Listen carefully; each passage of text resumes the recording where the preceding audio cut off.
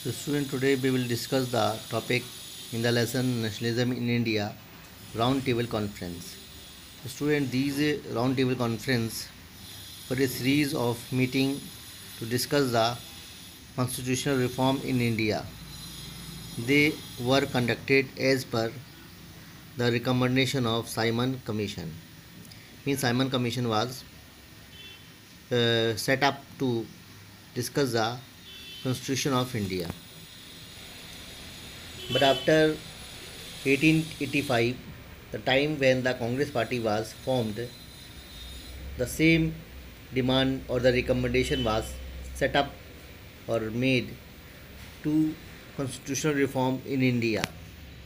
Student, you know very well, it was started from 1885, 1892, 1909, 1919, then lastly 1928. So, student, we will know about the first roundtable conference.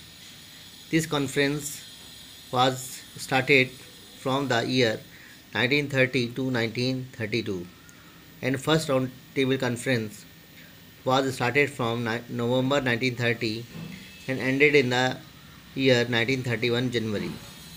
It was inaugurated and opened by Lord Irwin and it was chaired by Ramsay MacDonald. You know very well, Lord Irwin was the Viceroy of India and MacDonald was the PM of Britain that time. In these conferences, in the first round table conference, total 89 delegates from India they had participated. Most Congress leader absent due to the CDM means civil disobedience movement. They were being in jail and top businessmen leader as well means they could not reach in the round table conference. The people who had participated in the movement and uh, from which group so it was or they were the Muslim League, Hindu Justice Party, you know very well what were Hindu Justice Party, Sikh liberals, Parsis, Christians, Anglo-Indian, European, landlords, laborers, women, and so many people who belong from the we'll say depressed class or they were facing the kind of uh, solution or they were uh, facing the kind of uh, disturbance in the country. So they all participated. Even britishers uh, had given them the kind of welcome or invitation to join in the first round table conference. Britishers know very well the indian they very willing to join this uh, conference. That's why they had welcome to all the people from india. Second round table conference was started september to december 1931 where 140 plus delegates attended in the meeting or in the conference. Mahatma gandhi ji was sent as sole representative of Congress along with Sarojini Naidu Madan Mohan Malaviya ji D Birla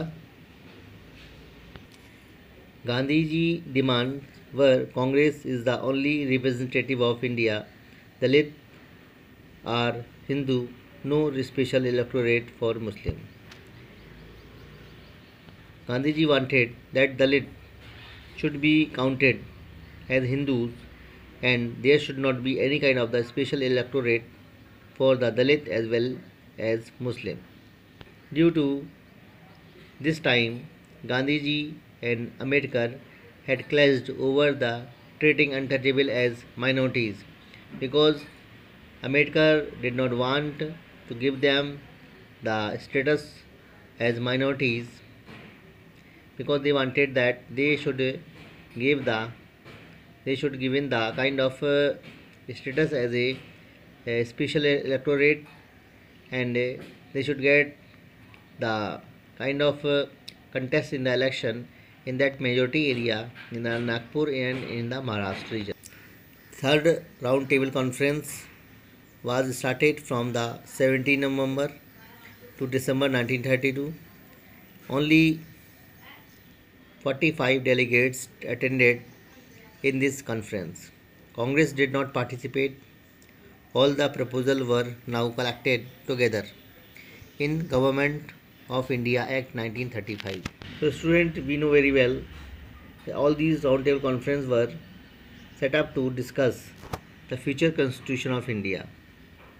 And in such way, roundtable conference and its recommendation was raised in future also. And as we have the constitution of India, it was mostly influenced by the Britain Parliament.